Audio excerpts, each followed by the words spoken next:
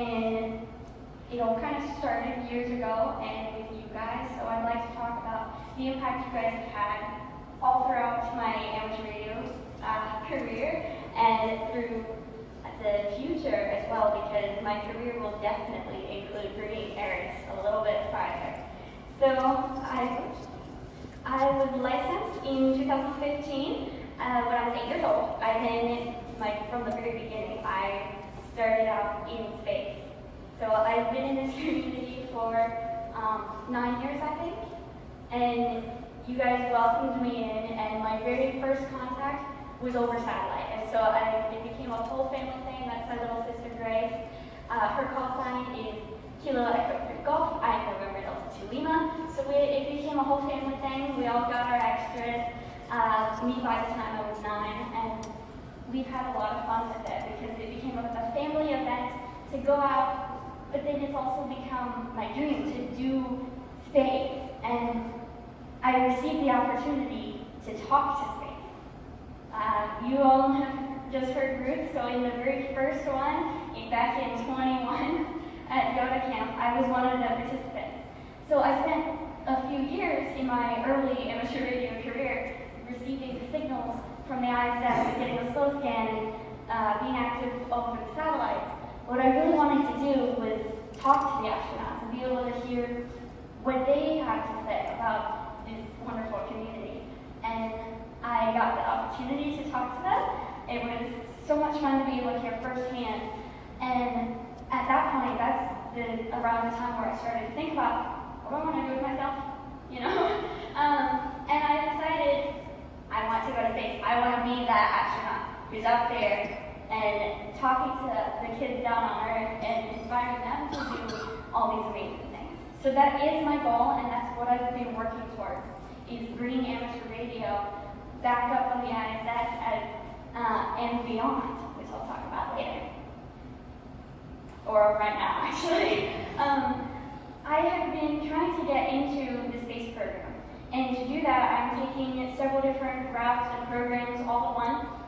I was invited to attend the Mars Desert Research Station in 2022. I was the first high school crew, we were an international crew, and we were able to perform research at the Mars Desert Research Station. So this station is a facility, as you can see, it's out in the middle of the desert in Utah.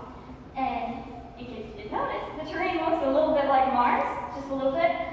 And the area there simulates the surface of Mars. You go there and you live in the habitat, and you perform your research as if you're in a pressurized habitat, living on Mars, doing your research. And I was able to build the radio station that got to go to Mars for the first time and I was able to make contacts. So if any of you guys work with me, you just keep up to yourself, right? I was able to perform actual academic research as well. And then some of my crewmates there, we were doing soil studies, but of course, we're a radio book, so I had to include radio in my research. And I was able to test a radio mesh network to send and receive, uh, well, to, to send data that we would receive the habitat to create a redundant system.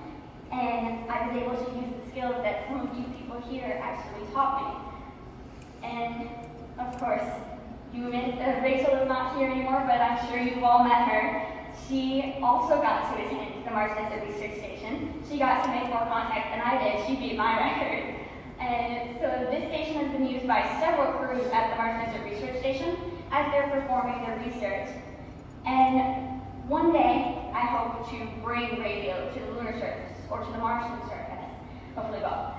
Um, and to get there, with some of the other programs that I've been able to do, I was selected to go to uh, Project PoSSUM, which is actually near here, and it's at Florida Tech, and they teach you how to work in the orbital mission. So that's a simulation that we did where you are in a pressurized intravehicular suit, and you uh, we trained how to work in it, how to do mobility tests, and we were able to train ourselves um, what is it like in this environment, because that's it's a very different place.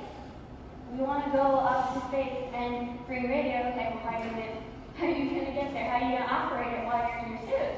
And it was a really interesting experience, especially because I got to do all kinds of fun stuff. I got to do some of the initial training that I astronauts do, such as high G and zero G flights, and it was a lot of fun.